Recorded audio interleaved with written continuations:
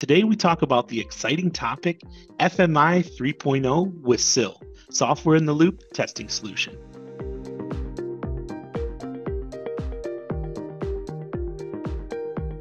Hello and welcome to another dSPACE Learning Bits. I'm your host, Mike Newmeyer, and today I'm speaking with Patrick Täuber, software developer at dSPACE. Hi, Patrick, and welcome to dSPACE Learning Bits. Hi, Mike. Thanks for having me. Patrick, I'm curious, along with some of our viewers, what is FMI?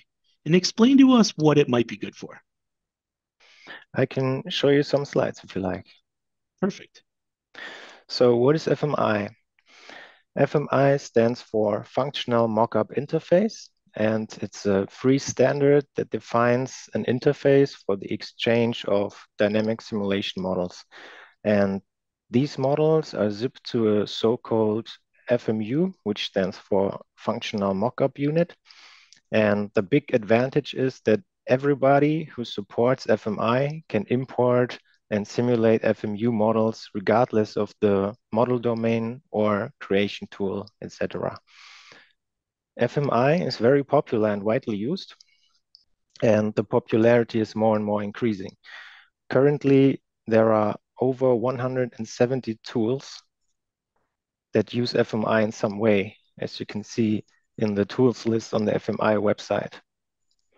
And as you can see, dSPACE is strongly represented here as well. Wow, thanks, Patrick. A new major version of FMI, FMI 3.0, has just been released.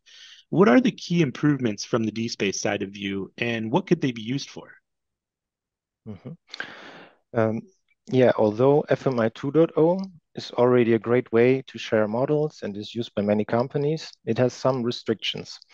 Uh, one restriction, for example, is that there's no array support. So if you have an integer array, for example, um, in FMI 2.0, you have to flatten that array and use separate variables for it. Another example is that there are limited data types basically only the four data types shown in this image are there.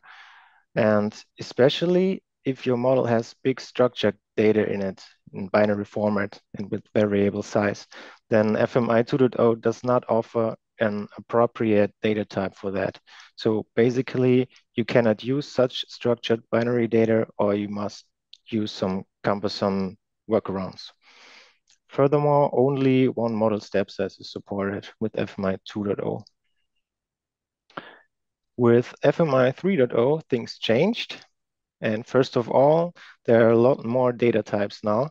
For example, for the different integer types. Furthermore, there is array support now. It is possible to define matrices and other multidimensional arrays. And that array support means you can send your whole array over one port.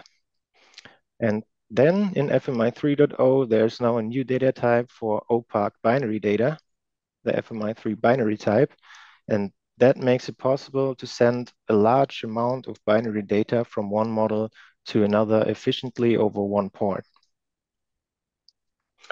And then there are also a lot of other strong features like the new clock variables for event synchronization, which also allow multiple sample rates for one model.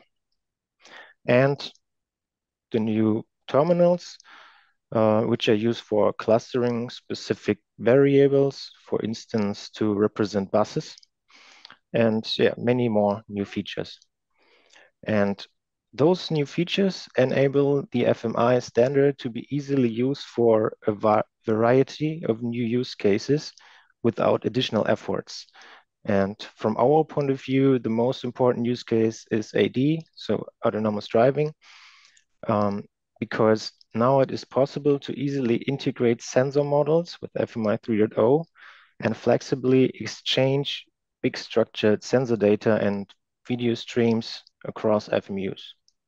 Wow, that sounds like a lot of new features. When will dSPACE support FMI 3.0? We already do. Uh, SystemDesk, our tool for the support in creating virtual ECUs, and VEOS, our SIL simulation platform for virtual ECUs, support FMI 3.0 since release 22B and 22A respectively. And this also includes a new binary type. So if you create a VECU in SystemDesk and export it as an FMU, you can import and simulate the FMU in VEOS.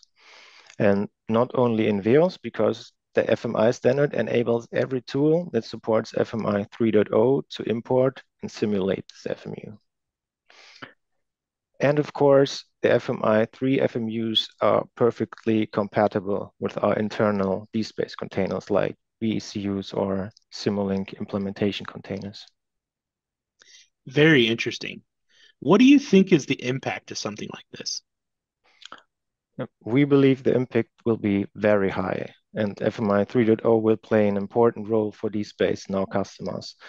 Uh, the new data types are already a long awaited feature Furthermore, the combination of all the new features like clocks, terminals, event mode, and so on makes it possible to model full-featured virtual ECUs that allow a realistic simulation of virtual ECUs without proprietary interface enhancements.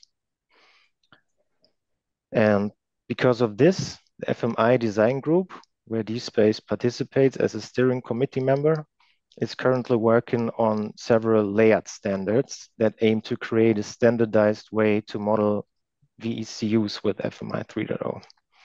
And this also includes bus simulation. The image illustrates the layered standard for network communication, for example, which uses a lot of the new FMI 3.0 features for a realistic bus simulation. And this VCU standardization is also eagerly awaited by our customers. And we believe that the impact of this will be even greater than the AD use cases. Well, thank you very much, Patrick, for speaking with me today and answering some important questions on this topic. For all of you watching, please feel free to visit our website at www.dspace.com and submit any questions or topics that interest you. Have a great day, everyone. Have a nice day. Bye bye.